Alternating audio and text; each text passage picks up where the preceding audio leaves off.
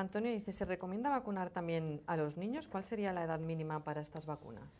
Pues este año aquí en nuestra región, en Cataluña, ha sido la primera vez que se ha recomendado la vacunación de la gripe en niños de entre 6 meses y 59 meses, bueno, 5 años.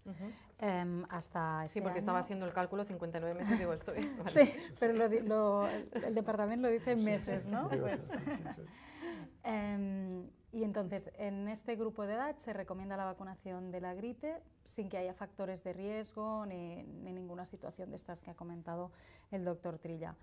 En el caso de que haya algún factor de riesgo, entonces ya, sí, a partir de los seis meses, cualquier edad, eh, se, recomendaría la, vacunación. En el caso de COVID, no habría recomendación en niños sanos, pero sí en niños con factores de riesgo que, hemos comentado. Ahora que comentamos, estamos hablando de niños, este año eh, también creo que se ha incluido por primera vez la vacuna de, a los bebés contra la bronquiolitis. Sí, sí, no es exactamente una vacuna, es un anticuerpo monoclonal. Hasta este año se disponía de un, de un, anticuerpo que no era tan efectivo y solo se recomendaba a niños, bebés eh, pues, prematuros o con mucho riesgo.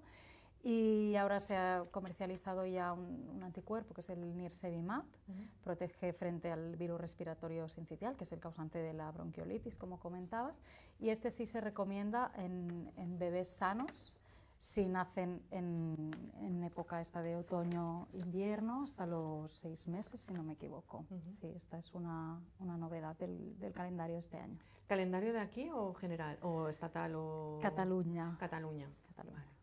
¿Y Probablemente en otras comunidades, no te, sé decir en cuáles sí, porque como en España las eh, competencias en sanidad están descentralizadas, entonces cada comunidad tiene su calendario de, de vacunación e inmunización. ¿Y por qué este cambio de criterio de vacunar de gripe a los niños hasta los 5 años? Sí que se ha visto que, eh, sobre todo, los de menos de dos años tienen más riesgo de complicaciones de gripe. De hecho, en Estados Unidos ya hace muchos años que, se vacuna a este grupo. O sea, se, les considera un grupo de riesgo igual que a los mayores de 60. En Estados Unidos ya desde hace años y aquí pues se ha incorporado este año.